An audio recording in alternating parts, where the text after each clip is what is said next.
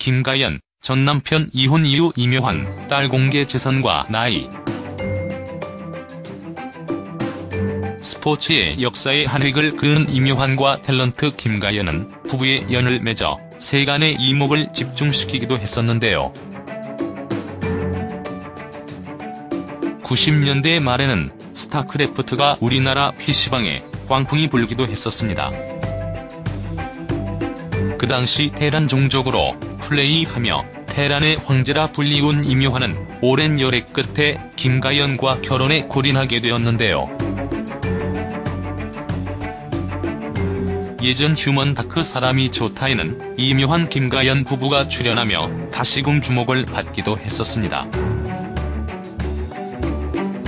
방송 당시 여러가지 에피소드와 진솔한 이야기들을 담아내 시청자들의 좋은 반응을 얻기도 했었는데요. 김가연은 늦은 나이임에도 불구하고 출산을 선택한 이유를 밝혀 눈길을 끌기도 했었죠. 당시 방송된 MBC 휴먼 다큐 사람이 좋다에서는 배우 김가연 프로 포커 플레이어 임요환 부부의 이야기가 공개됐었는데요. 그날 김가연은 생후 100일 된 둘째 딸을 함께 공개하기도 했었습니다. 노산이라 할 수 있는 그녀는 44세 아이를 낳았는데요. 아이를 낳게 된 이유는 늦은 나이에 가진 아기라 더 소중하겠죠. 아무래도 남편을 닮은 아이가 갖고 싶기도 했고 나중에는 오기가 생겼다. 해내지 못할 거라 생각했는데 해냈기 때문에 그래서 더 귀하다고 말하기도 했었습니다. 44세 아이를 갖고 낳는 건 쉽지 않으니까요 라고 밝히기도 했는데요. 이어서 이묘한, 역시 아기가 전치 태반이라고 해서 계속 출혈이 나와서 여러 차례 병원에 갔었다.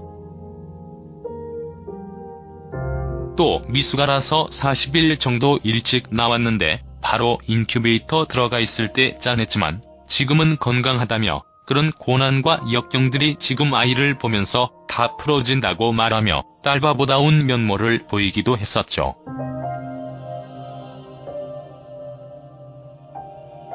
또한 김가연이 고소와 관련된 별명을 과거 한 방송에서 털어놓기도 했었는데요. SBS 자기야 백년 손님에 출연한 김가연은 함께 출연한 출연자들에게 자신을 고소미가 별명이다, 고소의 여왕이다고 밝혔습니다.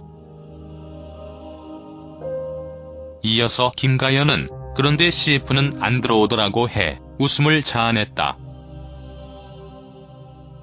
또한 김가연은 남편 이묘한이 했던 사식을 언급하며 발차기 연습을 하기도 했다고 하는데요.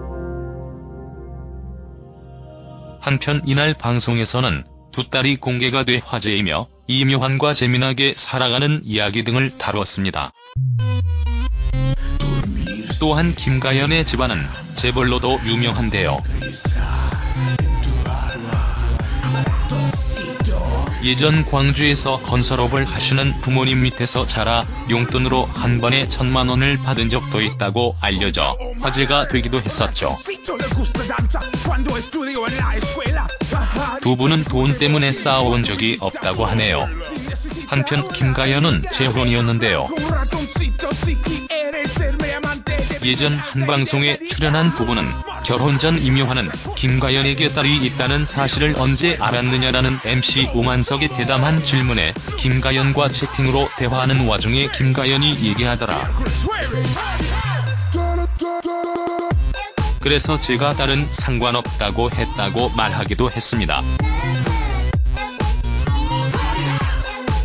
또한 그때 당시에 결혼을 전제로 한 사이가 아니었고 사귀는 사이를 이야기한 것이기 때문에라고 덧붙여 놀라움을 자아냈다고 하는데요.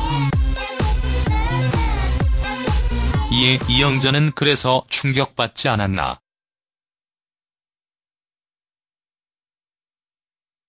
깜짝 놀라지 않았나고 질문하자 김가연은 정말 잠깐 고민하더라. 그러더니 나는 상관없다고 말했다라고 말하기도 했습니다. 한편 전 남편과의 이혼 이유는 정확히 알려진 바는 없는 듯합니다.